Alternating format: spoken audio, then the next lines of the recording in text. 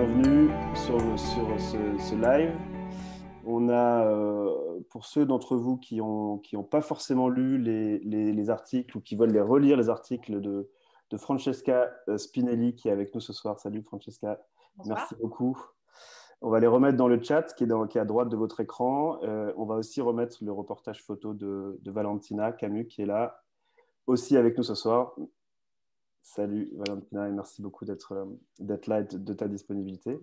Et à toutes les deux, je, prends quelques minutes aussi euh, pour euh, vous dire, pour ceux peut-être d'entre vous qui ne connaissent pas ou pas suffisamment bien Vox Europe, pour vous dire qu'on est un média européen, évidemment, indépendant, en ligne, qu'on traite de l'actualité des enjeux européens et qu'on le fait en plusieurs langues, puisqu'on publie notamment en anglais, français, allemand, italien, espagnol et parfois, parfois plus. Euh, Vox Europe, ça existe depuis 2014.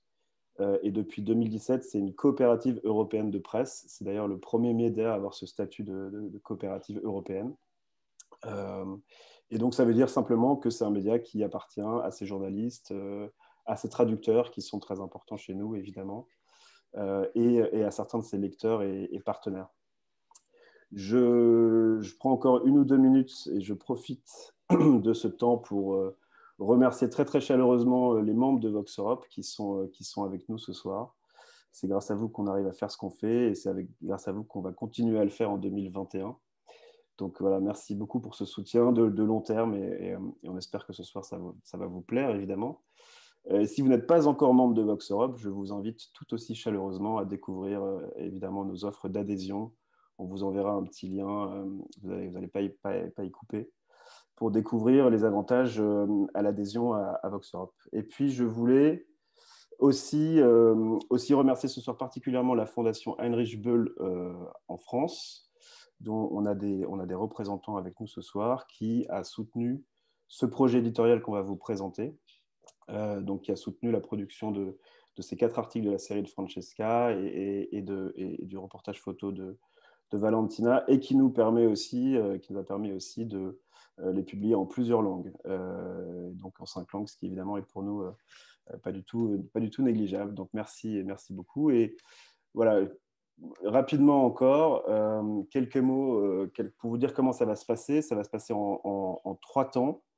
Le premier, c'est va, on va poser des questions maison Vox Europe euh, à, Francesca et à Valentina, donc avec euh, Gianpaolo, mon compère ce soir, euh, Gianpaolo Accardo. Et voilà, si jamais, vous avez des, si jamais vous avez déjà des questions, vous pouvez tout à fait les, écrire dans le chat. Donc, c'est la, la, boîte de dialogue qui est à droite de votre écran.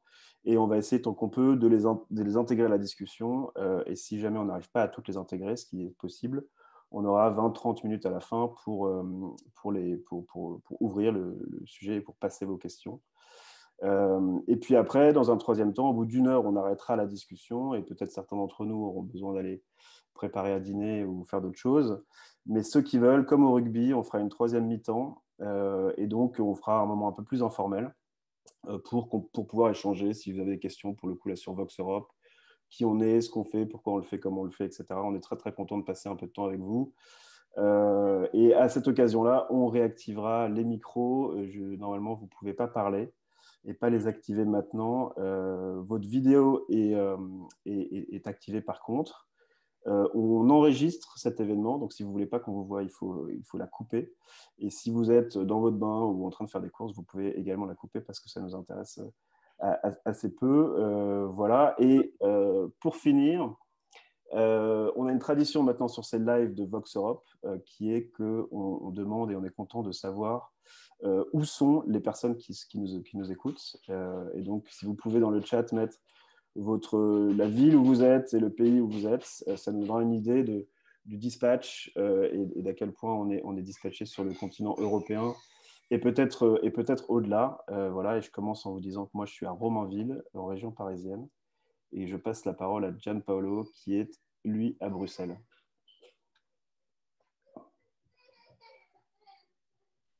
Merci Paul, merci à tous euh, d'être venus assister à cela, mais surtout merci à nos, invités, Francesca et Valentina. On va présenter rapidement Francesca, c'est une une journaliste italienne, mais euh, je crois que tu as passé plus de temps à l'étranger qu'en Italie, en fait. Euh, si je ne me trompe pas, euh, on se connaît depuis très longtemps parce que, comme moi, tu travailles, tu collabores avec International, et donc le cousin italien de Corée International.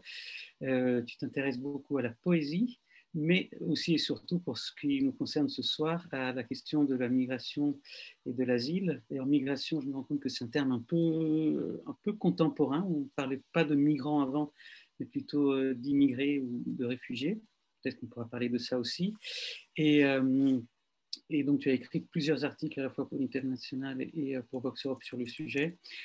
Notamment cette dernière série que, tu as écrite pour nous, du point de vue des personnes qui sont sur le terrain, parce que justement, ce sont, ou des personnes qui sont en première ligne, parce que ce sont des personnes à qui tu as affaire, généralement, et aussi tu t'intéresses beaucoup au point de vue, si on veut dire, de, la relation avec les institutions européennes, que tu connais aussi assez bien, parce que tu la plupart du temps d'ailleurs à Bruxelles, toi aussi.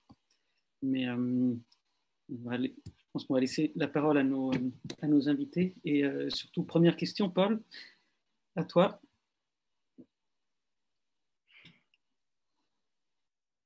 Et voilà, je réactive mon micro. Bah, euh, D'abord, je voulais resaluer Valentina, pour, Valentina Camus, qui est photojournaliste italienne, basée à Paris et qui travaille au studio Hans Lucas. Et, donc, on aura l'occasion de, parler de ton reportage euh, après avoir un peu déchiffré, euh, le pacte, en tout cas, en ces premiers, éléments. Euh, j'avais une première question pour bah, justement pour toi, Francesca. C'était de, savoir pourquoi tu as décidé de, de, te spécialiser sur cette question, depuis quand, pour, aussi pour nous permettre de savoir un peu d'où tu parles et comment tu abordes cette, problématique et ce sujet de, travail.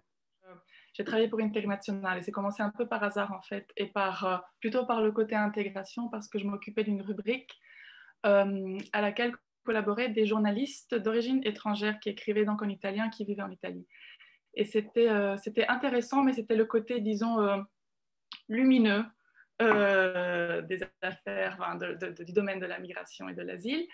Ils avaient des parcours très, très différents, mais voilà, ils étaient intégrés. Euh, même s'ils avaient un regard très critique sur l'Italie. Ensuite, en arrivant à Bruxelles, euh, ben voilà, je me suis d'une part rapprochée du cœur euh, des prises de décision européennes et d'autre part aussi, je suis rentrée dans un collectif de soutien aux personnes détenues en centre de rétention pour étrangers qu'on appelle ici centre fermé. Et donc, c'est un peu avec ces deux points de vue-là que j'ai commencé à travailler comme journaliste indépendante sur le, sur le sujet. Ok, ok, très bien. Et tu évoques euh, Bruxelles et, le fait d'être intéressé à la dimension européenne de, cette, euh, de cet aspect. Et justement, peut-être qu'on pourrait peut-être commencer par là et, commencer par euh, une question un peu provoque, mm-hmm. qui serait d'essayer de, de, comprendre pourquoi est-ce que finalement les pays européens doivent coopérer entre eux, doivent collaborer entre eux sur cette question, et pourquoi est-ce que chacun ne devrait pas au final gérer la question de l'asile et ses propres demandes d'asile dans, son coin. Euh, et, en essayant de, comprendre euh, quels sont les, avantages, on va dire, objectifs, rationnels à une coopération entre les États européens sur cette, sur cette question? Donc, bah, d'une part, il faut dire que les États européens, ils ne sont pas trop, trop contents euh, justement d'être poussés dans cette direction. En tout cas, il y a des résistances. On va voir ça plus tard en parlant justement de la, de la naissance du pacte et des négociations. Mais d'un point de vue disons, logique à partir du moment où on a un espace euh, Schengen de libre circulation. Euh, la question s'est posée assez rapidement de trouver une manière de gérer les, demandes, les demandeurs d'asile qui avaient tendance à se déplacer au sein euh, de l'Union européenne pour aller vers des pays où ben, ils avaient l'espoir d'être accueillis comme réfugiés. C'est ce qu'on appelait l'asylum shopping. Et ce n'était pas, voilà, ce n'était pas apprécié par les pays qui recevaient le plus de demandeurs d'asile. Et donc, l'idée euh, a été euh, de, ben, de commencer un peu à se mettre d'accord sur comment gérer justement la, euh, la responsabilité du traitement des demandes d'asile. Donc, c'est pour ça que Dublin, dont on va parler plus tard, est tellement important et est vraiment à la base de, de cet effort d'harmonisation. Et, et, donc, au début, c'était surtout donc, la question de la responsabilité et aussi l'idée d'établir des normes minimales enfin, pour faire en sorte que puisque de toute façon le droit d'asile existait, bien sûr, depuis longtemps, il fallait quand même que les États membres soient alignés. Ce n'était pas le cas, il y avait des, grosses différences. Et, et, puis peu à peu, on est passé de cette idée d'avoir des normes minimales à l'idée vraiment d'uniformiser et les procédures et le, type de statut qui, allait être octroyé. Mais disons que le nœud vraiment qui est resté problématique, c'était la question de la responsabilité, donc du partage des responsabilités euh, pour le traitement des demandes d'asile. Et c'est là que certains pays ont plus intérêt à avoir donc, euh, une, ah ben, un partage plus équitable, notamment les pays euh, en première ligne, les pays à la frontière de, extérieure de l'Union européenne, et les pays aussi qui reçoivent beaucoup de demandes, bien que n'étant pas à la frontière extérieure. Donc, c'est le cas de l'Allemagne, beaucoup de demandes parce que justement, les demandeurs d'asile, surtout pour le passé, ça sera toujours moins euh, facile, mais se déplaçaient pour, euh, pour atteindre d'autres pays. Euh, donc voilà, certains pays ont poussé plus, poussent plus, d'autres moins, on le sait. Et donc, on en est plus ou moins là. le, pacte est censé remplacer le très décrié système de Dublin, dont, on, parle beaucoup quand il est question de migration et d'asile, et dans certains pays, c'est devenu, devenu un moment quasiment une obsession. Euh, quelles, sont, quelles, seraient les, quelles sont les grandes lignes du, système qui était en vigueur, enfin, qui est, est, toujours le système de Dublin, et quelles sont ses limites et les critiques principales qui lui sont, qui lui sont portées? Alors, Dublin, effectivement, c'est tout le monde connaît maintenant Dublin. Je pense que c'est vraiment un des règlements européens les plus connus euh, en Europe. Et euh, il a même donné lieu à un, verbe. J'ai vu une fois une photo d'un tag sur un mur de Grenoble qui disait Va te faire dubliner. Ce que je trouvais assez. Euh, effectivement, ça donne un peu l'idée de, la popularité du terme. Et donc, Dublin, qui est né en 1990. Euh, c'était euh, donc une convention, ensuite ça a évolué, il y a eu plusieurs tentatives de le réformer. Dublin devait établir les critères de partage des responsabilités dans le traitement des demandes d'asile. Et donc, euh, l'idée, c'était qu'il y avait plusieurs critères, mais que finalement, le principal, celui qui s'imposait, c'était que le pays où la personne allait introduire la première demande d'asile, ou plutôt allait être enregistrée en tant que demandeur d'asile, allait devoir traiter cette demande jusqu'au bout. Or, le problème, bien entendu, c'est que les personnes souhaitant demander une protection internationale en Europe ne peuvent pas monter sur euh, un avion, dans un avion et venir euh, atterrir où elles veulent et demander cette protection.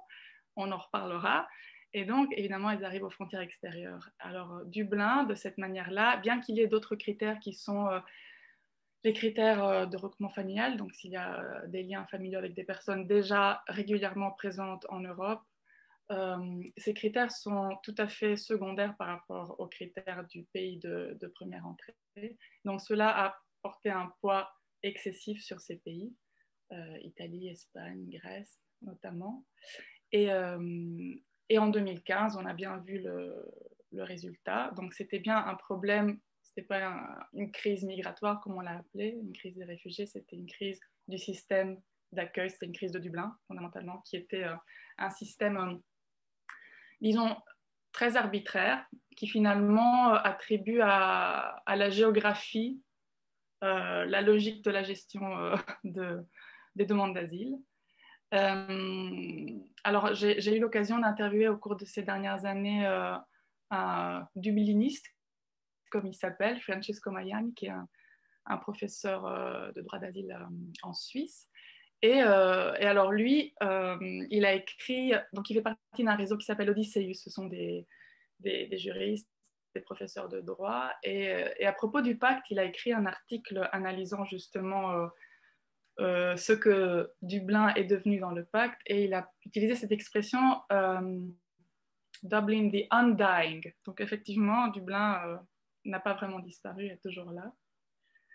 Euh, parce que cela demanderait une révolution, euh, disons, intellectuelle euh, trop radicale. Et donc, donc voilà.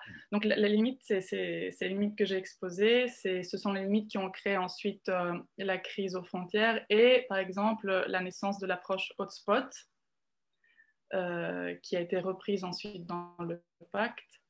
Et, et c'est un système qui n'a pas été dépassé, en fait, dans, dans cette proposition. situation donc actuelle au futur pacte européen, donc qui est censé remplacer ce système. quelles sont les, grandes lignes de, la proposition contenue dans le pacte, et puis, euh, et puis oui, les, inquiétudes à avoir. Elles transparaissent dans, tes articles, mais est-ce qu'il y a euh, des inquiétudes et aussi des points d'avancée, des, aspects positifs, notamment en matière de, protection ou de partage des responsabilités entre États membres, et pas que la responsabilité euh, de renvoyer euh, les, demandeurs d'asile dont, dont, la demande est refusée, mais aussi de partage de l'accueil, notamment, qui était la grande question posée par la crise de 2015 et, euh, et aussi par le grand problème du système de Dublin. Oui. Bien, pour rester dans, ben, sur Dublin, parce que justement, Dublin a été théoriquement réformé, et alors, parce que donc il y a eu une tentative, il faut rappeler quand même en 2016, une proposition de réforme qui a été lancée par la Commission, et alors, je ne sais pas si vous vous rappelez, euh, à un moment, ils avaient proposé euh, pour les pays réticents qui ne voulaient vraiment pas accepter d'accueillir une partie de ces personnes qui, sont obligées d'arriver bah, aux frontières extérieures, on l'a dit. Et donc, le problème se pose de où les, relocaliser. Les pays qui refusaient pouvaient payer 250 000 euros. Je ne sais pas si vous vous rappelez cette somme qui avait été euh, proposée pour, euh, pour, éviter d'accueillir des demandeurs d'asile. Donc cette proposition de réforme, euh, elle avait été très intéressante à suivre parce qu'en fait, elle annonce probablement ce qui va arriver maintenant avec, en tout cas, euh, sur ce point-ci du pacte sur la migration et l'asile. Parce que donc, le Parlement européen s'était évidemment ensuite saisi de la, proposition de réforme, ce qui va arriver avec tous les documents qui composent le pacte. Et la, donc la rapporteure, rapporteuse, euh, Cecilia Wickstrom, avait euh, longuement travaillé à, ben voilà, à, l'étude de cette proposition de la Commission et avait fait des propositions qui étaient euh, très intéressantes, mais qui n'ont pas du tout été reprises dans le pacte. Et parallèlement, les États membres, en fait, étaient partis dans une direction complètement opposée, mais complètement opposée, donc pour rendre encore moins solidaire cette réforme de Dublin. Et donc aujourd'hui, ce que la Commission a proposé, parce que la Commission en 2018 a finalement renoncé, a dit bon voilà, on ne peut rien faire, on ne sait rien faire, comme on dit ici en Belgique, on va laisser tomber. Mais c'est évidemment le point central, donc on ne peut pas avancer si on ne, si on ne se met pas d'accord sur, sur Dublin et sur un partage des, des responsabilités de l'accueil des demandeurs d'asile, parce que comme, l'a dit la Commission, sinon on aura d'autres Moria, c'était un peu le, disons, le leitmotiv. Et donc, ce qu'ils ont proposé, c'est euh, cette solidarité très flexible avec cette euh, nouvelle euh, notion de, donc en français, ça a été traduit par parrainage des retours, return sponsorship. Je sais qu'en Allemagne, j'ai entendu ça, un, un, press briefing de la commission récemment, en Allemagne, il y a des linguistes qui ont dit que ce terme est pratiquement intraduisible parce que en fait, c'est une aberration, donc il ne peut pas être traduit. Donc le parrainage des retours, c'est l'idée de donner la possibilité à des pays membres qui ne souhaitent pas accueillir de demandeurs d'asile de, euh, voilà, de, comment dire, d'être solidaires d'une autre manière. Et donc de mm. contribuer, aider mm. au, rapatriement des demandeurs d'asile déboutés. Parce que la Commission insiste bien sur le fait que, oui, bien sûr, il faut absolument accueillir les demandeurs d'asile qui méritent une protection internationale, mais il y a ce grand mais qui a été mis en avant euh, lors de la présentation du pacte. Mais en fait, euh, il y a énormément de personnes qui demandent une protection internationale et qui ne vont pas l'obtenir, et à propos desquelles on peut dire assez rapidement qu'elles ne vont pas l'obtenir selon la Commission. Et, euh, donc voilà, donc, donc le pacte insiste beaucoup sur ça et essaye de développer des manières de, d'une part, accélérer le traitement des demandes d'asile, d'autre part, de impliquer tous les États membres en leur permettant de contribuer d'une manière ou d'une autre au traitement de ces demandes d'asile ou voilà, au retour des demandeurs d'asile déboutés. Je ne sais pas si... Bon, ça c'était... Parce que la, question que tu as posée, Jump, a été très générale. Mais en tout cas, ça c'était voilà, ça, c'était un, aspect, euh, un aspect du pacte qui est très inquiétant. Euh, parce que donc, pour accélérer ces demandes d'asile, le pacte introduit, et c'est une des nouveautés, enfin, nouveauté, là aussi, euh, ce sont en fait des choses qui ont été mises en place graduellement, mais qui maintenant sont vraiment, donc cette procédure de filtrage qui d'ailleurs va alourdir énormément le, travail des États justement à la frontière extérieure, parce qu'ils vont devoir faire des contrôles qui existent déjà, mais qui seront beaucoup plus lourds, et, euh, qui devraient ensuite euh, permettre rapidement d'identifier les demandeurs d'asile qui devront passer par une procédure d'asile à la frontière, ce qui était mhm. déjà prévu, mais qui là deviendrait obligatoire. Et donc l'idée, c'est vraiment de faire en sorte que les personnes qui réussissent à arriver aux frontières extérieures de l'Union européenne et qui n'ont aucune chance, selon euh, des statistiques et selon la commission, de rester, soit immédiatement rapatrié. Donc ça, c'est vraiment là... Pardon, vas-y, vas-y. Non, vas-y, vas-y. Non, je t'en prie, continue, vas-y. Excuse-moi. Je voulais juste dire que euh, ce n'est pas que selon moi, enfin, c'est selon euh, les experts qui ont le temps maintenant de se pencher bien sur le contenu du pacte de, voilà, qui a été présenté le 23 septembre. C'est vraiment le, en fait, la, la base de ce pacte. C'est un peu ce que je viens d'exposer. Et qui théoriquement devrait mettre d'accord les États membres, parce que sans leur euh, accord, euh, ce pacte ne nulle part. Sans l'accord du Parlement non plus, on est, on est déjà d'accord. Mais voilà, puisque ça concerne euh, les États membres, c'est un peu ça le principe qui a été, qui a été trouvé par la Commission.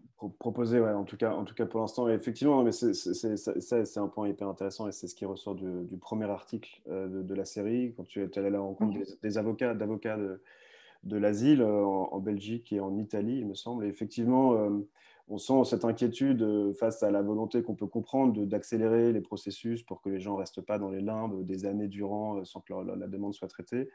On sent quand même qu'avec ce système de spots, on a l'impression qu'il va y avoir une espèce de, de, pré-étape qui va être installée, mise en place pour savoir, pour définir et filtrer les gens, pour savoir ceux qui en fait euh, ont le droit de déposer une demande d'asile et, les séparer des autres. Et donc, euh, ce, que disaient, ce que disent les avocats que tu as, interrogés, c'est notamment la question d'avoir de, accès à ces personnes à, à, ce, première étape, cette première étape d'arriver sur le territoire, euh, avec la crainte que ça fonctionne comme un trou noir. Et, et, d'ailleurs, dans ces cas-là, est-ce qu'on sait qui serait en charge de ce premier tri, sur, sur quel quels critères, sur quelle base Tu parles de statistiques.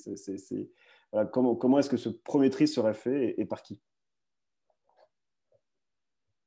Donc, il y a l'étape de filtrage, qui est une étape euh, dans laquelle serait, comme, c'était déjà le cas dans les hotspots, seraient impliqués les, euh, des, agences européennes. Mais bon, voilà, le, gros de, de l'organisation, tout ça serait, retomberait sur les, sur les États membres, évidemment. Et, euh, et donc, théoriquement, c'est là toute la nuance, c'est parce que c'est vraiment dans, les nuances. Théoriquement, le filtrage, c'est, même là, si on voit la traduction du terme, donc en anglais, c'est screening, en français, c'est filtrage, en italien, c'est accertamenti, en espagnol, j'ai vérifié, c'est euh, contrôle. Et en fait, en tout cas, c'est mon impression, il y a quand même des, différences. Euh, mais si on va voir le but de, ce filtrage, on a l'impression que ce n'est pas seulement une question de collecte d'informations. Normalement, c'est pour voilà, collecte d'informations sur euh, pour établir un peu le niveau de, de, menace en fait, que peut représenter la personne. Il y a des euh, contrôles quant à sa santé. Et puis effectivement, pour comprendre un peu où est-ce qu'on doit l'orienter. Bon, voilà. Mais ce que, ce que remarquait euh, donc une autre des, des spécialistes qui ont participé à ce, cette série qui est très intéressante d'articles publiés par le réseau d'ICEUS, elle disait finalement ce filtrage, il aura un impact sur le sort réservé à ces personnes. Euh, ce n'est pas vrai que voilà, ça reste une simple prise d'information. Et c'est là où c'est vraiment, vraiment très insidieux et c'est là que les avocats sont inquiets, évidemment. Donc, alors ensuite, quand on passe à l'étape suivante, euh, quand tu disais les statistiques, là, ça concerne l'étape suivante. Donc, c'est est-ce que cette personne qui a le droit de demander l'asile peut le demander donc, par la procédure régulière ou est-ce qu'elle doit rester ici parce qu'on va euh, activer la procédure de demande d'asile à la frontière? Et donc là, on a dit que ça sera pour les euh, ressortissants de pays euh, en provenance de pays dont le taux de reconnaissance pour le demande d'asile est inférieur à, que je ne dise pas de bêtises, inférieur à 20%. Voilà. Mais alors ça aussi, ça ne plaît pas du tout, euh, bah, ça, ne plaît ça ne plaît pas aux ONG, ça ne plaît pas euh, aux avocats. Euh, on avait déjà une liste des pays d'origine tiers, d'origine sûre. Toutes ces idées-là, elles sont fondamentalement contraires à l'esprit, enfin, au, but du droit d'asile, à, comment, à la nature même du droit d'asile. Et, pourtant, c'est dans cette direction que la Commission va avec les États membres, parce qu'évidemment, ça permet d'accélérer. Ça permet d'accélérer. Accélérer les process et les, traitements. Et, ces avocats disent aussi qu'il y, y, a une sorte de euh, d'opposition entre des traitements qu'on veut accélérer à, ce niveau-là, mais qui après peuvent prendre dans les pays, euh, pour le traitement de la demande d'asile, qui peuvent prendre plusieurs années. Et donc effectivement... Une... Mais bien sûr, mais c'est ce que disent, euh, c'est ce que disent aussi, voilà, c'est ce qu'ils disent, c'est que si toute cette procédure devait être mise en place, proposée par le pacte, il y aurait énormément plus de personnes retenues aux frontières, dans ces centres. D'ailleurs, quels centres Il faudra les construire? Où ça? Donc, imaginons tous ces nouveaux centres énormes, hotspots, et toutes ces personnes qui sont détenues, dans quelles conditions euh, et pendant combien de temps? Et finalement, on a bien vu en Grèce, où théoriquement, il y avait des délais qui étaient beaucoup plus courts pour le traitement des demandes d'asile qui étaient, euh, qui étaient euh, retenus là. Ça a explosé. Ça a explosé et on ne voit pas pourquoi est-ce que ça devrait être différent. Donc, il y a un côté un peu comme ça, irrationnel, disons, euh, dans ce pacte qui, qui, qui, a été euh, souligné par, par, beaucoup de personnes. Je, je, je, glisse une question euh, justement sur le rôle des, des, pays dans, la, dans, dans, le... Mais je, mais je, rappelle à tout le monde que n'hésitez pas à poser des questions par écrit dans le chat et qu'on sera content de les, de les reprendre est-ce qu'il est y a des États, euh, Francesca, qui ont travaillé plus que d'autres à l'élaboration de, cette proposition? Enfin, est-ce est qu'on est y a une, euh, est-ce que voilà, est-ce qu'on sait qu'il y a des, pays qui ont poussé pour, pour certains? Est-ce que tout ça est évidemment une grande négociation? Oui. est-ce est-ce qu'on sait qui a été très présent, très offensif sur sur sur, sur la, les propositions dont on est en train de parler? Et donc effectivement, tous les pays ont participé. C'est vrai qu'on on a parfois tendance un peu à simplifier. Et moi-même, j'ai dit plusieurs la commission la commission, mais la commission ne propose rien sans d'abord avoir consulté euh, ben non seulement les pays membres, mais aussi euh, des ONG et des représentants. De... Donc, euh, donc tous les pays se sont exprimés. Évidemment, les pays du Sud, enfin la frontière, ont, poussé pour faire en sorte que ben, qu'il y ait une solidarité qui soit vraiment obligatoire. Et ce n'est pas le cas en fait, parce que comme on a dit, donc il y a la possibilité pour les États qui ne veulent pas accueillir de demandeurs d'asile de participer au retour, mais il n'y a pas de sanctions s'ils ne le font pas. Alors déjà, on ne voit pas très bien. Alors, on peut imaginer qu'il y aurait peut-être des procédures d'infraction lancées par la Commission. Bon, très bien. Cela prend des années, ça n'a aucun impact. On l'a vu récemment. La Hongrie et la Pologne ont été condamnées cinq ans après pour ne pas avoir participé au programme de relocalisation qui avait été euh, mis en place en 2015. Donc, voilà. Donc, les pays euh, du sud de l'Europe ont poussé pour avoir une vraie solidarité obligatoire et sont déçus et l'ont déjà dit en fait. Les pays euh, du bloc de Visegrad et d'autres sont pas contents non plus parce que ce que j'ai oublié de dire, c'est que si ce parrainage de retour euh, n'aboutit pas à un retour pour une raison ou pour une autre, il y a plusieurs raisons, par exemple le pays d'origine ne veut pas accueillir la personne ou d'autres, eh bien euh, le pays, le parrain doit, après huit mois, quand même accueillir cette personne. Et alors maintenant, euh, d'après ce que j'ai pu comprendre, les États, les pays membres du Sud veulent que ça se passe avant, donc pas après huit mois. Et, euh, et, les, et, les, États du, du, bloc de Visegrad et les autres États bah, ne veulent jamais voir ces personnes, en fait, parce que c'est vraiment ça qui les intéresse, c'est ne jamais les voir sur leur territoire.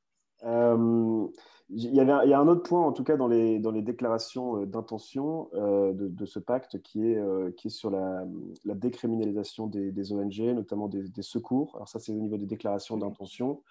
Qu'en est-il en, réalité? C'est vrai qu'on a, on a quand même eu les, les, dernières années des périodes de, crise avec des bateaux en Méditerranée notamment, euh, dérivant avec à leur bord des personnes, des, personnes naufragées, secourues en mer euh, dans des situations sanitaires difficiles. On avait un peu l'impression qu'à chaque fois, il fallait relégitimer euh, le, enfin, le, travail de ces ONG et en tout cas le fait qu'elles portent secours à, ces personnes en mer.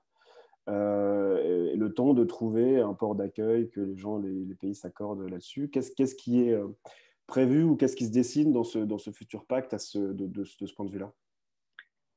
Alors, effectivement, comme tu as dit, ce sont des déclarations, euh, des communications, euh, parce que donc le pacte euh, contient cinq propositions d'instruments vraiment législatifs qui deviendraient contraignants, et trois communications, et puis cette, une orientation donc, qui concerne effectivement, donc d'une part, il y a une communication qui concerne les opérations de sauvetage, de recherche et sauvetage en mer, et après, il y a un document, donc orientation sur la mise en œuvre de, disons, ce qu'on appelle euh, en, en anglais euh, la directive sur la facilitation, donc sur l'aide à l'entrée au transit au séjour irrégulier.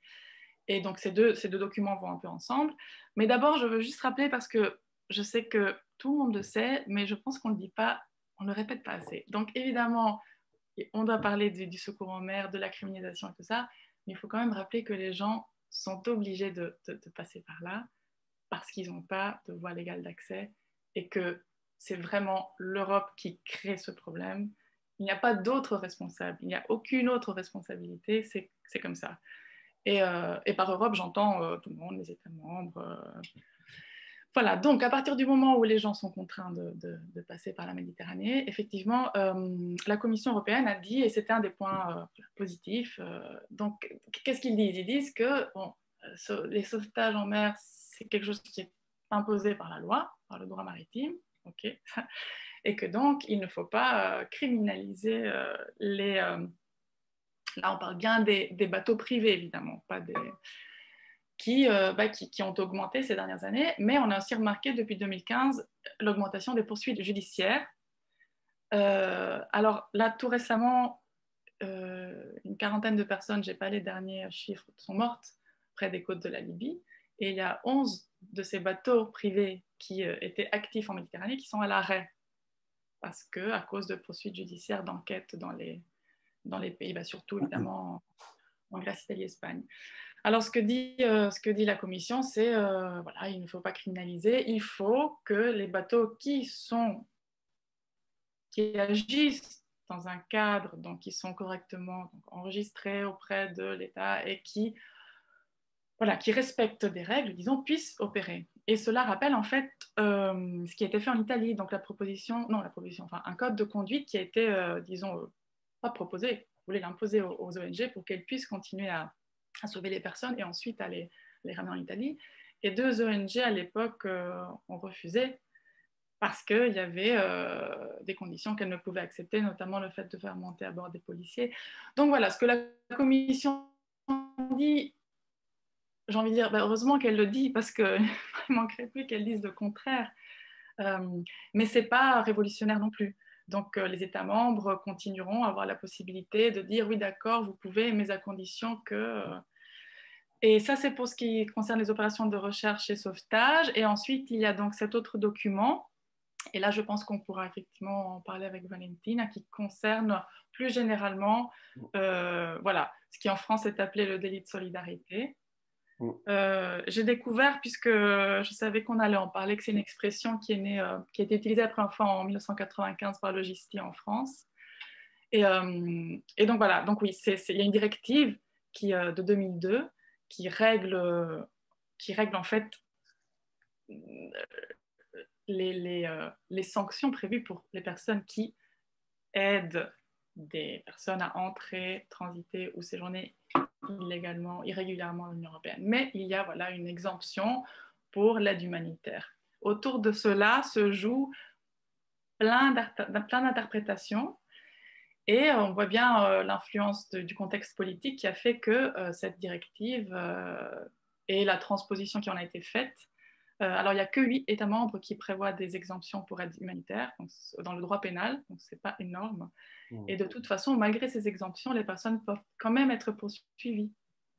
il y a eu beaucoup de cas, et, voilà, donc, et notamment liés au, au, passage dans les Alpes dont pourra nous parler Valentina. Mais c'est parfait parce que c'était justement de ça qu'on voulait parler maintenant euh, et, de, passer du, sauvetage en mer euh, à la terre et, notamment à la montagne euh, et de, revoir avec, avec toi Valentina, merci merci encore d'être là, ce reportage que tu as fait donc accompagnant des, gens, des bénévoles en fait qui, aident des euh, personnes à, franchir la frontière, euh, donc entre l'Italie et la France, euh, en hiver en plus, donc dans des conditions qui sont extrêmement difficiles. toi, ce, reportage-là, c'est, est-ce que tu peux nous en, nous en parler? On, l'a partagé en lien. Ah, voilà, c'était remis par Francesca, merci. vous pouvez regarder les magnifiques photos de ce, de ce reportage. Dans, dans, quelles circonstances tu l'as fait? Et, est-ce que tu peux nous dire plus sur les, les personnes qui, justement, en tant que bénévoles, assistent, assistent les, les réfugiés? Ok. Vous m'entendez? Oui, ouais, super, parfait, merci. Euh, alors, juste pour euh, mettre dans le contexte, euh, j'étais à Paris à un moment et j'avais vu passer aux infos une vidéo nocturne d'un jeune exilé qui passait la frontière dans les Alpes. donc, il faut savoir que je suis italienne, donc vous entendez mon accent sûrement. Et, et je suis originaire de Gênes, donc pas très loin de la frontière aussi. Et euh, en voyant en fait ce, reportage, j'ai eu envie d'aller voir parce qu'il parlait surtout euh, du col de l'échelle. Donc euh, c'était le moment où le passage de la frontière se faisait, principalement par ce côté-là de, des Alpes. Et, donc je suis allée une première fois pour essayer de comprendre comment ça pouvait se passer, en restant pas mal de temps sur le côté italien donc euh, en rencontrant des gens qui sont, euh, qui sont enfin des, des, des, bénévoles, des citoyens solidaires, je dirais plutôt que des bénévoles, euh, vers Bardonecchia et Ulx. donc c'est par là que les, les, réfugiés se retrouvaient, surtout à la gare de Bardonecchia, qui était un peu le lieu d'arrivée principale, enfin les personnes arrivaient sur place et se retrouvaient un peu perdues dans la gare et ne savaient plus trop quoi faire. Et à cette époque-là, il y avait une euh, association qui s'appelle Rainbow of Africa, qui avait réussi à avoir une petite salle, euh, une salle dans laquelle en fait les personnes de passage pouvaient se poser pour dormir la nuit. Euh, il y avait juste une problématique, c'était la problématique, c'était que les jeunes ou moins jeunes restaient se poser dans la salle d'attente de la gare de Bardonnay jusqu'à sa fermeture. il y avait un laps de temps, enfin de 8h à 11h le soir, où la salle d'attente elle était fermée et la salle de repos, là où vous pouvez dormir, bah, elle n'était pas ouverte. Donc il y avait ce moment-là où, en fait, avec le froid l'hiver et la neige, et il y avait donc ces citoyens solidaires italiens qui étaient principalement là, leur amener euh, soit des vêtements chauds, soit des, du thé, quelque chose de chaud et parler avec eux. Parce qu'en fait, le problème de fond, c'est que la plupart des gens mineurs, enfin des jeunes qui sont mineurs ou pas, qui arrivent sur place euh, euh, là-bas, bah, ils n'ont aucune conscience de danger de la montagne. Donc, ce qui fait qu'en fait, j'ai vu des jeunes arriver en mocassin ou en chaussures de ville et penser pouvoir traverser le col de l'échelle en pleine nuit en ne connaissant pas du tout la montagne aussi, ce qui est très... Moi, je ne suis pas une grosse montagnarde non plus, donc euh, je sais que c'est très... J'aime la montagne, mais je n'ai pas des compétences de, folie euh, euh, pour pouvoir passer l'école comme ça. Donc, je connais un peu les dangers et je me rendais compte vraiment que ces personnes-là n'avaient aucune conscience, au point qu'ils ne comprenaient pas que la neige était froide. Donc, euh, c'est dire qu'ils n'arrivaient pas à estimer le danger.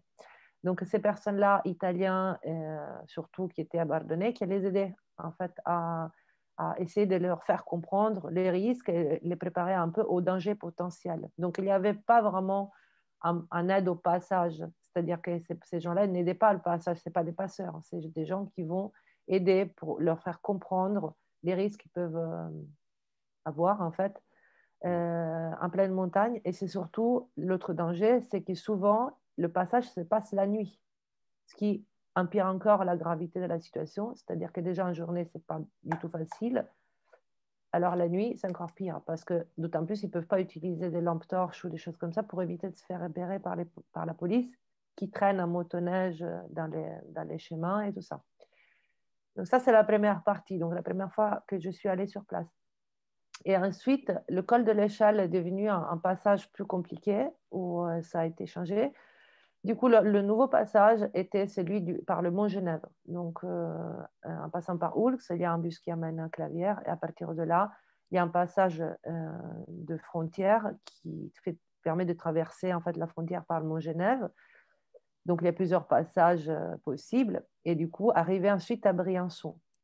Une fois que les personnes arrivent à Briançon, et sont accueillis par d'autres euh, citoyens solidaires qui ont, monté un, lieu qui s'appelle le refuge solidaire, qui est géré par l'association qui s'appelle Tous Migrants. Et ce refuge solidaire, c'est un lieu dans lequel, en gros, les personnes arrivant, arrivant en, France, elles peuvent se poser pendant un temps et commencer à faire les démarches administratives et décider, en gros, quoi faire. S'ils vont rester, vont aller dans une autre ville, s'ils vont aller commencer les démarches à Marseille ou ailleurs. Voilà. Ok.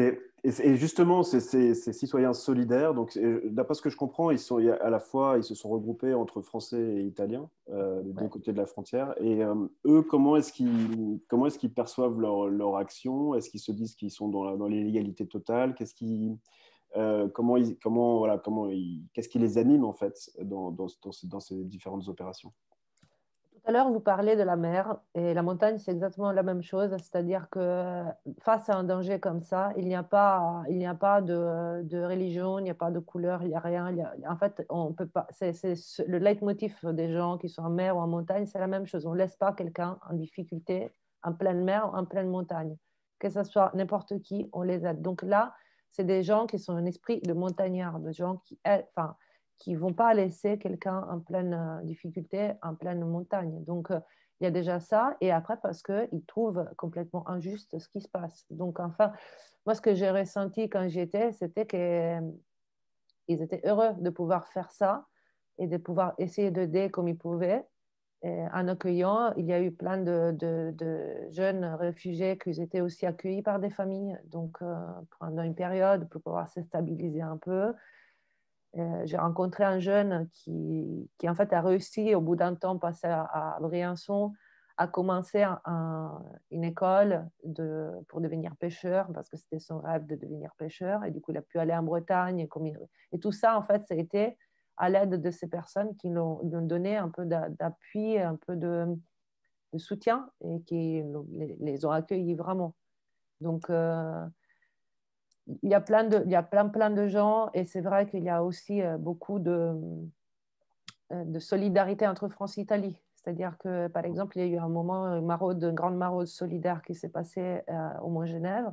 Et là, c'était une maraude qui, qui, était dans la montagne. Donc, il y a eu un premier rassemblement qui s'est fait à la PAF, au poste, au poste frontière, qui est vraiment voilà, sur les, sur les, exactement sur le schéma en fait, du passage de la frontière. Et à ce moment-là, il y a eu euh, une grande, un grand groupe de personnes qui sont réunies. Et là, il y avait des Italiens et des Français ensemble. Et donc, l'idée, c'était de se balader dans la montagne, faire une maraude, mais c'était plutôt une action symbolique. Mmh. Il faut savoir qu'il y a quand même des maraudes nocturnes aussi qui sont faites par des gens pour éviter que des gens se perdent dans la montagne, justement. bien sûr. On voit dans, tes, dans, tes, dans ton reportage que c'est cette maraude-là qui est arrêtée par les, les forces de l'ordre, justement. Qui euh, et le problème, euh, le problème de, de, de, citoyens qui, se mobilisent, mais dans le sens inverse, justement, pour empêcher euh, les gens de passer, c'est quelque chose qui, qui, existe dans cette région aussi. Ouais.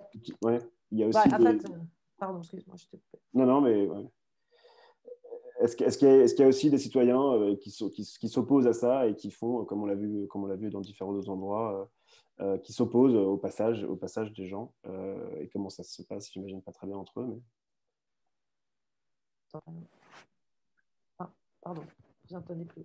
Euh, oui, vous m'entendez Ouais, bon. Euh, moi, je n'étais pas sur place quand c'est arrivé, mais en fait, quand j'étais à la frontière, j'y suis allée plusieurs fois avec une collègue et amie photographe qui s'appelle Rose Leca, qui travaille beaucoup aussi sur la situation frontière. Euh, et bah, on a travaillé pas mal ensemble en même temps sur ce territoire et parfois séparément. Et elle, elle était sur place quand il y a eu une action de génération identitaire euh, sur place. Donc, euh, des personnes justement qui sont contre, euh, qui sont enfin, inversement de, l'autre côté, côté complètement d'opinion opposée et qui ont, ont, fait une forme d'action dans la montagne pour redéfinir une frontière. Et ça, c'était pendant une manifestation qu'il y avait des, des, des, citoyens solidaires, en gros. Donc, en même temps, il y avait eu cette action-là. Moi, je n'ai pas vu de mes yeux, mais j'ai vu des images et elle, elle était sur place quand c'est arrivé. Ouais. Et toi, c'est un sujet que tu vas continuer à suivre euh, là, après après ce reportage? C'est un sujet que tu, que tu, que tu traites dans la, dans la durée ou tu, vas l'aborder, aborder le sujet de, de, façon différente à, présent? Euh, Alors, il y a plusieurs choses. C'est-à-dire que déjà, euh, j'avais, suivi pas mal les, campements à Paris d'immigrants. Du coup, là, après la frontière. J'aimerais vraiment beaucoup aller dans les sauvetages en mer parce que c'est quelque chose qui, que j'aimerais beaucoup faire et pour essayer de témoigner de ça. Et, oui, là, j'ai quelques projets en route, toujours sur la question de, l'immigration, parce que ça m'intéresse, d'autant plus que avec le pacte et tout ça, je pense que c'est important de raconter ce qui se passe aussi aux frontières. Voilà, donc petit à petit. Super, eh ben, on, sera, on, sera, très heureux de suivre ton travail. Euh, Merci. Avec Vox En tout cas, je vous invite à aller, aller regarder ce, ce reportage que, qui, dont le lien est dans les, dans les, dans les, dans le, dans les chats. Euh, et, n'hésitez pas, euh, si vous avez des questions, à Valentina ou à Francesca, à les, à les, à les écrire. On est très contents. Il nous reste 13 minutes. On va, essayer de, on va essayer de finir à peu près dans, dans les temps. donc voilà, n'hésitez pas. On a encore quelques questions en stock, mais on est très content de poser les, les vôtres aussi. Euh, voilà, Jen. J'ai une question que je n'avais pas vraiment prévue, mais elle me, vient à l'esprit et c'est pour Francesca. Euh, notamment, c'est la traductrice en elle euh, que je m'adresse et, la personne qui s'intéresse aux langues, mais qui qu'on pourrait intervenir. on a un peu dit au début, jadis, on parlait de immigrés, réfugiés et, et émigrés. Aujourd'hui, c'est des mots qu'on n'entend plus tellement on parle, surtout de migrants, c'est un terme qu'on entendait très peu, euh, qu'on utilisait très peu avant, voire encore plus récemment de exilés.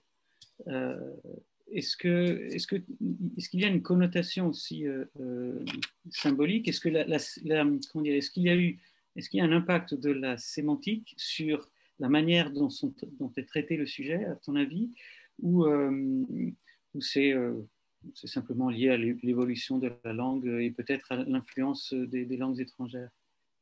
Alors, je pourrais parler de ça pendant des heures, mais je ne le ferai pas. Par contre, euh, non, par contre, c'est vrai que c'est une très bonne question et, la réponse est oui, bien sûr, il y a, il y a un impact. Alors, c'est plutôt de voir jusqu'à quel point il y a des choix qui sont faits vraiment de, de façon très délibérée et d'autres qui le sont moins, qui sont plus subis. Mais Effectivement, sur ce que tu dis, immigré, donc en, anglais, on est bien d'accord qu'il n'y a pas de immigré, enfin, c'est migrant, euh, et donc il y a sûrement une influence. Mais par contre, ça a fortement changé la perception, à mon avis, parce que quand on parlait d'immigré ou d'immigrate en italien, là, c'était quelque chose qui nous parlait beaucoup plus parce que ça concernait, c'était beaucoup plus facilement euh, associable à, nos expériences passées, donc par le passé de peuples qui ont émigré, qui sont immigrés migrer ailleurs. Et puis, il y a cette idée que le, déjà, utiliser donc un substantif migrant, euh, donc l'adjectif migrant, euh, pour définir des personnes qui simplement sont en train de se déplacer pour aller s'installer ailleurs. Donc, ce n'est pas du tout leur, euh, leur nature, mais ça a permis de créer cette catégorie. Donc, voilà, dans, dans, tout ce qui est et le droit d'asile et de l'immigration, forcément, on doit avoir des catégories. Ça, on, peut bien le comprendre. Et donc, euh, il y a eu, par exemple, tout, un travail de sensibilisation fait aussi au niveau des médias pour bien, pour qu'ils utilisent correctement les termes. Donc, qu'est-ce qu'un demandeur d'asile Qu'est-ce qu'un réfugié Qu'est-ce qu'un... Bon, maintenant, migrant s'est imposé, d'accord euh, Mais cela a un impact parce que on voit bien que maintenant, les réfugiés sont connotés positivement s'ils sont vrais, donc, on a tendance maintenant à ajouter le vrai. Donc, les autres, ce sont. Donc, il y a des, gens qui abusent du système d'asile, donc ce ne sont pas des vrais réfugiés, ce sont des demandeurs d'asile qui espèrent se faire passer pour des réfugiés. Et puis, les migrants, c'est cet énorme bassin où on fait rentrer, en fait, des indésirables. Euh, on ne s'intéresse pas du tout aux raisons pour lesquelles ils souhaitent s'installer en Europe. Et, euh, et, ceci est d'une violence extrême et ça a un impact très fort, pas seulement au niveau de la perception qu'en ont les personnes, mais on le voit ensuite dans les euh, propositions qui sont faites au niveau législatif. Parce que tout ce dont on a parlé avant, le filtrage et tout ça, tout ça, ça marche parce qu'il y a des catégories qui sont été mises en place, plus ou moins amples, plus ou moins euh, rigides. Et alors après, il y a eu aussi des réactions. Donc, par exemple, je pense à euh, Al Jazeera qui à un moment a dit on va plus parler de migrants, de migrants, on va appeler tout le monde réfugié, parce qu'ils ils percevaient bien que c'était euh, devenu euh, quelque chose de, bah, négatif. Exilé, ça s'utilise surtout dans le monde francophone, et c'est pour mettre en avant, euh, disons, la, motivation. enfin ce qui pousse les personnes à partir. Donc ce n'est pas pour venir envahir ou profiter, mais voilà, il y a, y a, des raisons qui poussent les personnes à, un exil qui est douloureux parce que l'exil est douloureux, mais qui n'ont pas le choix.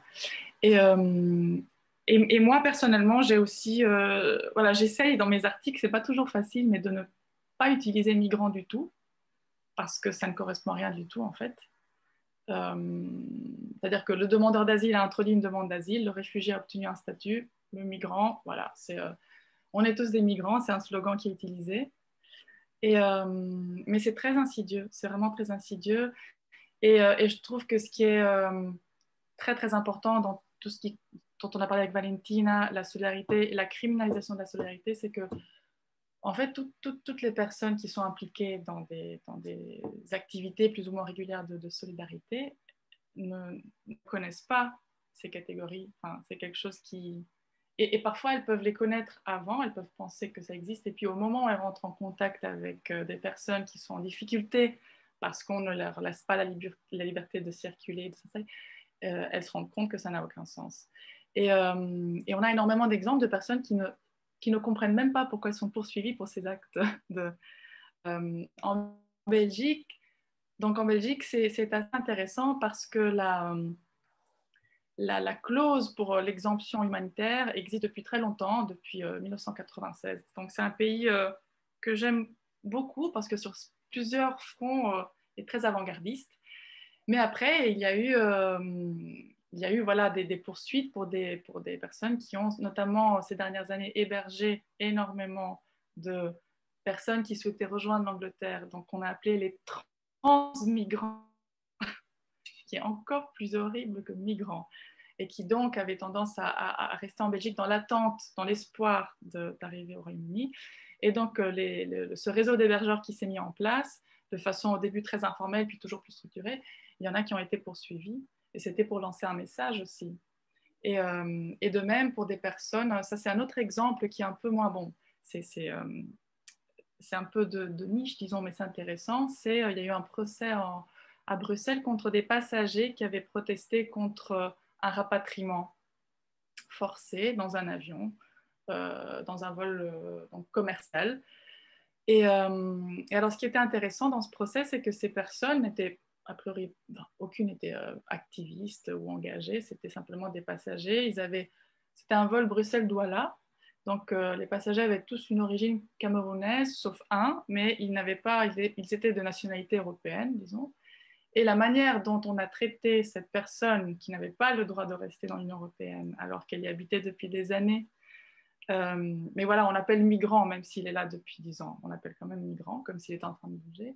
Donc voilà, ils ont, elles ont protesté, elles ont dit c'est pas possible, vous allez le tuer, parce que les policiers étaient en train de le contraindre, d'essayer d'étouffer pour qu'il ne crie pas. Et, euh, et donc, ils ont été, euh, il y a eu un procès, ils ont été acquittés finalement.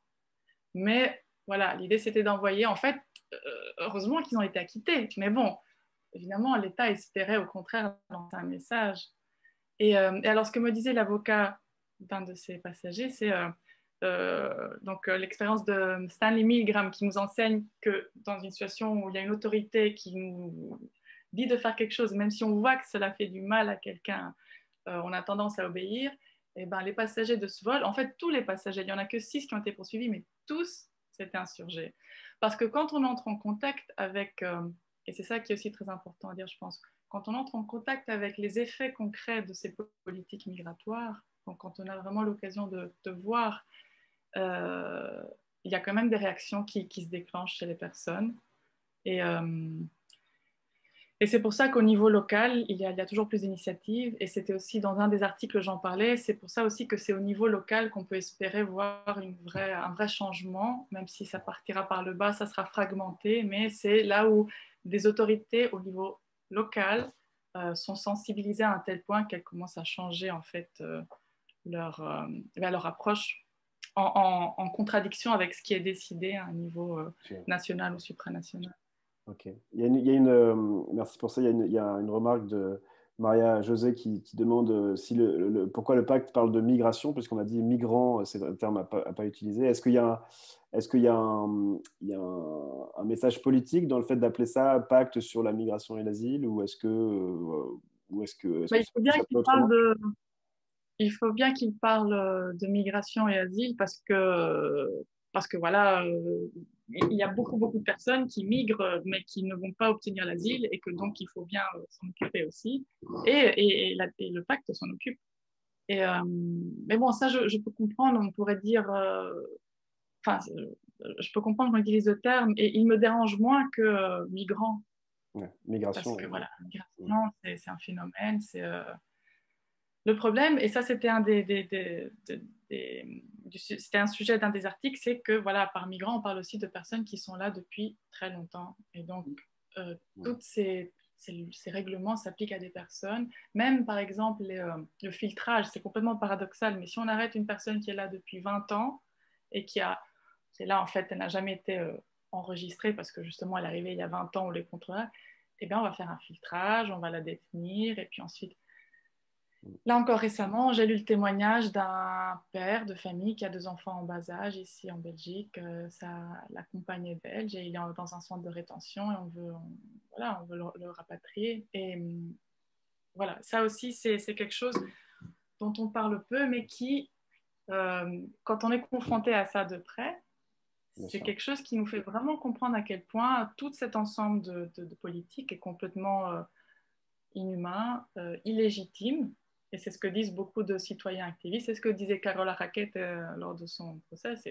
Moi, je, je, ne vais pas obéir à des lois qui, qui, sont, qui vont contre, en fait, euh, mais non seulement une morale, mais en fait, déjà le droit de sauvetage, et puis ensuite qui sont.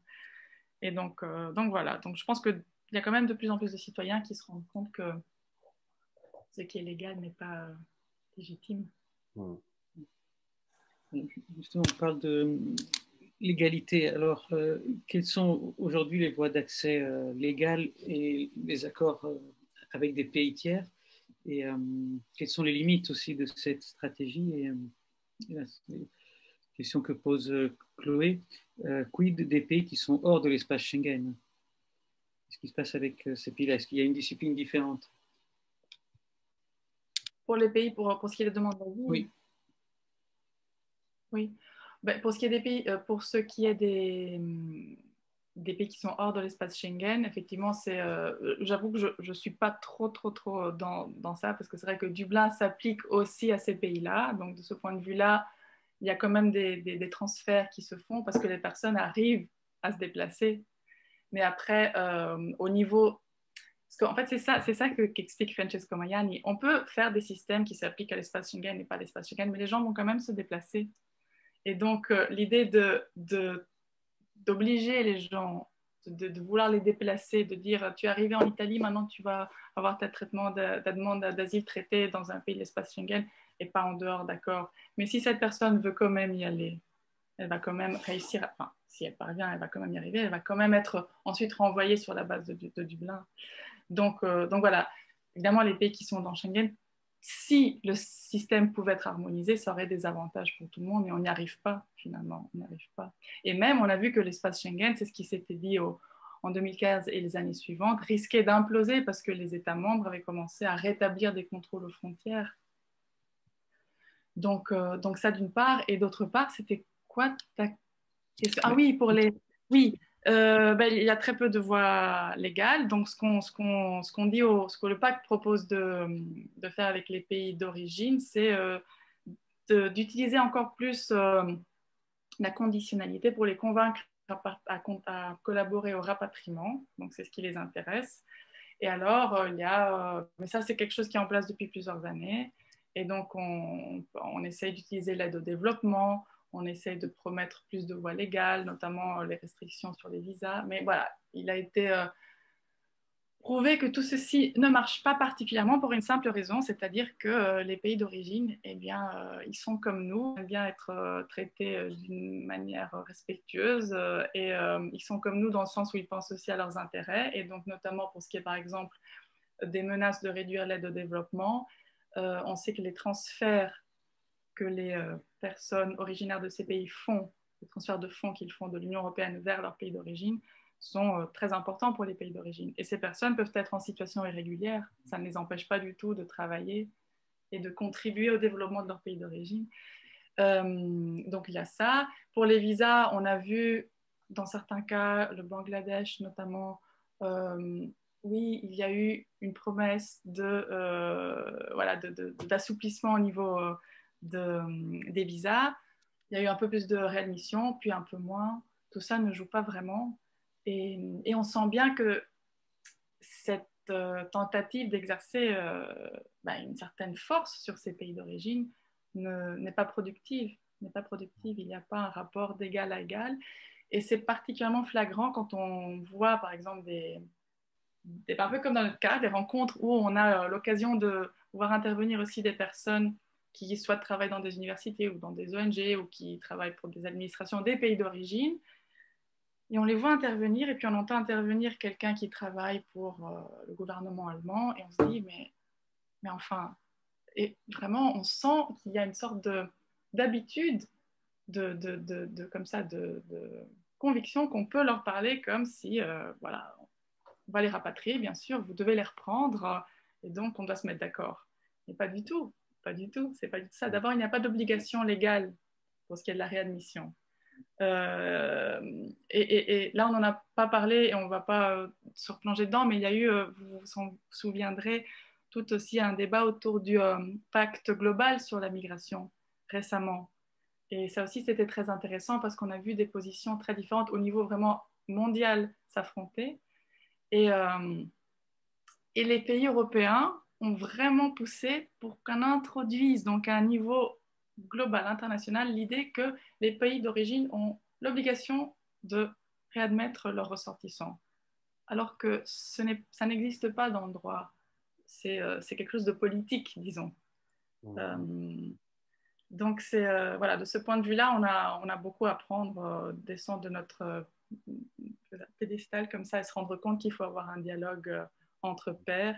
Et j'ajouterai une dernière chose, se rendre compte aussi que l'Union européenne, oui, elle peut promettre voilà, plus de voies légales pour les travailleurs saisonniers, mais à un moment, comme disait euh, une collègue, euh, Maria-Angela Paone, qui écrit, euh, qui travaille en Espagne, on, a, on va, ça commence déjà, on va avoir la, concurrence d'autres régions du monde, de la Chine, qui vont, qui vont attirer des travailleurs dont on va se rendre compte qu'on aura besoin à un moment. On va se retrouver un peu comme... donc voilà, il y a il y a une incapacité de penser aussi sur le long terme. Hmm. Est-ce que, à ton avis, euh, ces politiques plutôt répressives euh, nuisent en quelque sorte à l'image de l'Union auprès des citoyens ou ça, correspond plutôt à ce que les citoyens attendent d'elle, en ce moment en tout cas? Bon, pour parler des institutions, ça serait hyper intéressant de faire une analyse euh, sociologique euh, parce que voilà, il y, a énormément de personnes qui, effectivement, qui travaillent. Si, on pense enfin, aux centaines de pages qui ont été élaborées, euh, ou pour Dublin, la précédente proposition de réforme qui finalement est tombée à l'eau, même si on en a repris beaucoup euh, de contenu, il y a beaucoup de personnes qui travaillent à ça. Et ça part d'un niveau assez, pas bas, parce qu'évidemment, ce n'est pas un niveau bas, ce sont des fonctionnaires qui ont un niveau d'éducation très élevée et qui effectivement euh, parfois se trouvent dans des situations difficiles. Donc j'en ai connu qui ont demandé à un moment de être euh, transférés dans d'autres euh, DG ou dans d'autres unités pour s'occuper par exemple plutôt d'intégration et pas de asile parce que c'était quand même frustrant de voir que certaines propositions, certains aspects des propositions, au fur et à mesure que la proposition était modifiée avant d'être présentée officiellement, eh bien, aller de plus en plus euh, dans le sens voulu par les États membres et donc s'éloigner de plus en plus euh, du respect des droits fondamentaux, des principes du droit d'asile. Donc il y a de ça. J'ai aussi eu, ça m'a un peu interpellée, euh, j'ai su qu'il y a, c'est normal, il y a une mobilité à l'intérieur des institutions. Il y a aussi des personnes qui, qui arrivent et qui s'occupent de ça et qui ne sont pas particulièrement formées mais bon, qui ont beaucoup d'envie de, bien travailler et donc, voilà, de façon un peu acritique, peuvent être euh, très, très impliqués dans euh, les politiques de réadmission. Mais voilà, sans peut-être euh, avoir fait des études en, droit d'asile et donc sans se rendre compte peut-être qu'il y a justement un peu quelque chose d'inconciliable entre, entre, entre ces, ces, deux, ces deux exigences. Et hum, donc voilà, mais après, il y a énormément de monde. Et ce qu'on voit, c'est qu'évidemment, plus, plus euh, la proposition est, peaufinée et plus elle devient politique. Et, euh, et donc voilà, donc euh, ça, c'est indéniable. La commission n'est pas que du travail technique, c'est politique. Et, et donc ensuite, pour dire est-ce que ça correspond Oui, on pourrait dire oui. Est-ce que ça correspond à ce que les citoyens et citoyennes, tu disais, euh, désirent, veulent en ce moment? Oui et non, parce que bon, si on entend ensuite euh, au Parlement européen, les positions exprimées là sont quand même fort différentes. Et donc théoriquement, le Parlement européen reflète plus fidèlement que la Commission euh, le ressenti des citoyens. Alors évidemment, il y a, il des partis qui sont, euh, qui sont, qui sont très hostiles euh, à l'immigration, mais, euh, mais généralement, ce qui, ce qui ressort, même on l'a vu avec le, voilà, par exemple, le rapport Wickstrom qui, proposait de, modifier la proposition de la, commission sur Dublin en 2017, il était ben, beaucoup plus ouvert par rapport à la proposition de la commission et, surtout à celle des États membres. Donc je ne suis pas sûre qu'en fait je ne suis pas tellement sûre, c'est plutôt quelque chose qui est alimenté comme ça et, voilà. Qui évidemment finit par avoir un impact, mais, euh, mais on a parlé tout à l'heure voilà, de, aussi de la solidarité qui, qui, augmente. Donc, euh. donc c'est un sujet qui reste à suivre euh, de près et que nous, on sera, on sera content de, continuer à suivre évidemment sur, sur Vox Europe. Et j'espère avec, avec vous deux aussi. Je, on, va s'arrêter là parce qu'on va devoir aussi vous, vous libérer.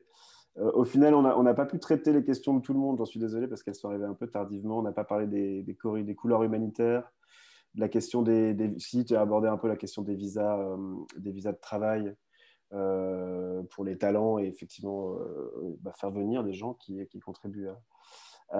ici, voilà, bref, on vous renvoie évidemment aux, articles et aux reportages de, euh, de Francesca et de Valentina et, à Vox Europe de manière générale, puisque c'est un sujet que nous on traite dans la, dans la durée. On a, on a aussi publié une, une série sur les Dreamers euh, d'Europe, donc euh, d'ailleurs dans laquelle Francesca tu avais, écrit un, portrait, donc portrait de cinq, cinq jeunes sans papier, demandeurs d'asile, enfin voilà, avec, des, situations diverses. merci, merci infiniment à, vous deux. On savait qu'on n'allait pas épuiser le sujet en, une heure de toute façon. Et merci beaucoup à vous tous qui avez participé.